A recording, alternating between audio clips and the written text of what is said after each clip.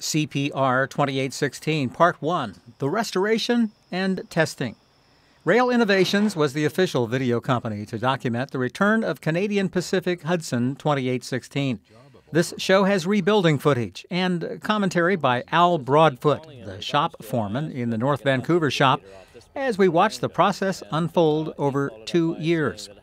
Then we see some of the first test run from on the train, in the cab, and trackside as 2816 steams again for the first time in decades.